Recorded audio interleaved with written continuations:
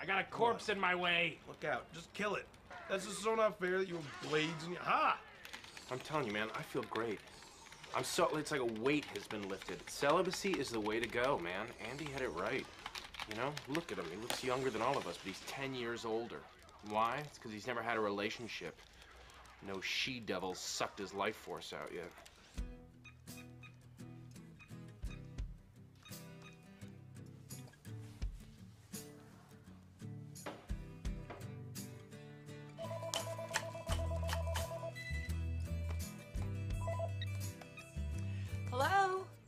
Hi, hi, hello. The, um, is this Trish?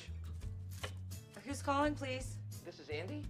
Oh, hi, Andy. Hi, how you doing? I'm good. How are you doing? I'm doing great. I'm doing great. So you're gay now? No, I'm not gay. I'm just celibate. I think, I mean, that sounds gay. I just want you to know that this is like the first conversation of like three conversations that leads to you being gay. Like, there's this, and then in a year, it's like, oh, you know, I'm kind of gonna want to get back out there, but I think I like guys. And then there's the big, oh, I'm I'm a, I'm a gay guy now. You're gay for saying that. I'm gay for saying that. You know how I know you're gay? How? How do you know I'm gay? Because you macrameed yourself a pair of jean shorts. You know I know you're gay. You just told me you're not sleeping with women anymore. You know how I know that you're gay? How? Because you're gay, and you can tell who other gay people are.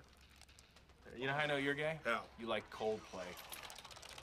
Oh, you're dead. You're dead. Leave my torso alone, at least.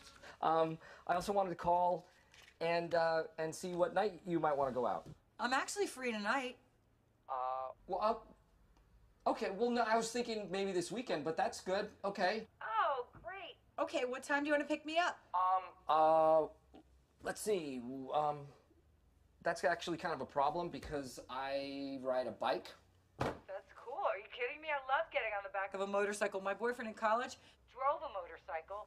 So, I mean, Yeah. I'm cool. Yeah, I bet that was cool. I ride a bike, bikes, bicycle, bicycle. Oh. You know how I know that you're gay? How? You like the movie Maid in Manhattan? You know I know you're gay. How? I saw you make a spinach dip in a loaf of sourdough bread once. You know how I know that you're gay? How? You have a rainbow bumper sticker on your car that says, I love it when balls are in my face. That's gay? God damn it. I'm ripping your head off right now. It's off, and now I'm throwing it at your body. Fuck you! Oh. You guys, she's uh picking me up in an hour. Oh, drag, dude. Wait, wait, she's, she's picking you up from here? Yeah. That's fucked up, man. Why? Why? Seriously. I mean, look at this place, man. You got you you got to see this through the eyes of a woman, you know. What what is she gonna think when she comes in here? Oh look, he's got a billion toys. So what? And more video games than a teenaged Asian kid. All right. Is that the six million dollar man's boss? It's Oscar Goldman. Why do you have that? That's worth a lot of money. That's much more valuable than Steve Austin. Well, that may be the case, but none of this shit is sexy, okay? I'm not trying to be sexy, man. I mean, there's Asia? You framed an Asia poster? How hard did the people at the frame store laugh when you brought this in? They did not laugh at me. Know why you're gay?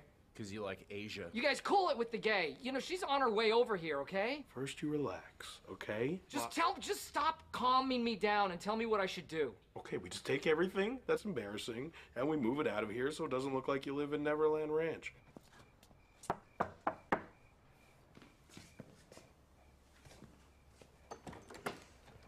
Hi. Hi, how are you? Good. So, um, you want to head out? Do you just move in or something? Oh no, no. Actually, I'm getting new carpet into. I'm having carpet put in tomorrow. So, Oh. so Uh huh. Oh, well. Yeah. You know, okay. looks good with the floors. Yeah, All right.